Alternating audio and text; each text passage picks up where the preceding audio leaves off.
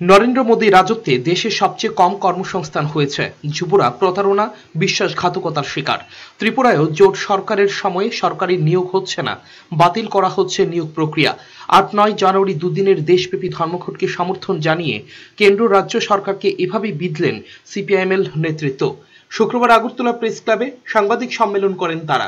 দলের রাজ্য সম্পাদক, পার্থ কর্মকার আহ্বান জানান ধর্মঘট সফল করার। তিনি বলেন ত্রিপুরায় মানুষ তৈরি যতই সরকারি সার্কুলার জারি চোখ রাঙ্গালি হোক না কেন ধর্মঘট হবেই। যতই সার্কুলার জারি করুক যতই চোখ রাঙা এই রাজ্যে বন্ধ হবে আগামী আট নয় জানুয়ারি।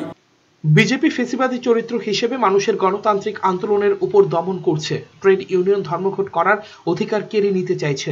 এভাবেই বিজেপির সমালোচনায় মুখর হলেন পার্থবাবু। যে আজকে সরকারি থেকে মানুষের গণতান্ত্রিক আন্দোলনের উপরে দমন করছে। এবং এটা দমনের আরেকটা নমুনা। ধর্মঘট, এটা আমার সংবিধান সিদ্ধ অধিকার। আমি ধর্মঘটে যে ধর্মঘট নিষিদ্ধ নয়। কাজে ধর্মঘট করার অধিকার আমার আছে, শ্রমিক কর্মচারীদের আছে, তার ন্যায্য দাবিতে। ট্রেড ইউনিয়ন করার রাইট কেড়ে নিচ্ছে? আজকে যদি কেউ কোনো শ্রমিকরা কোনো কারখানায় সংঘবদ্ধ হয়, তাহলে এখানে রাজ্য এবং কেন্দ্রীয় সরকারকে আগে সরকারের পারমিশন নিতে হবে। দুদিনের দেশব্যাপী ধর্মঘট সর্বাত্মক হবে বলে আশা ব্যক্ত করেন সিপিআইএমএল নেতৃত্ব।